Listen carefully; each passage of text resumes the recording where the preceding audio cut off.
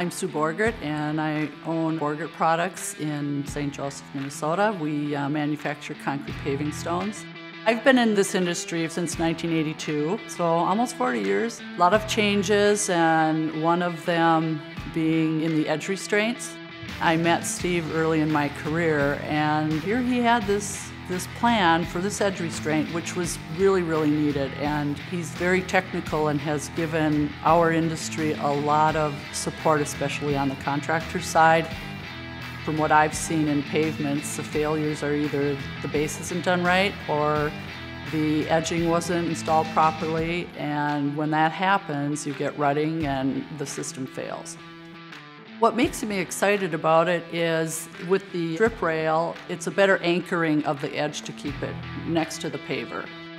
Our contractors liked that on the edge piece, there's ridges on the bottom so it will resist or inhibit that sliding out. It's our goal to have satisfied customers. That's why we work so hard to make quality pavers. And with that quality mentality, we like to give the contractors a solution and something that makes their jobs easier. And with the Fortress Edge Restraint, we'll make that happen. Quality is key, and Fortress can provide that solution for our contractors.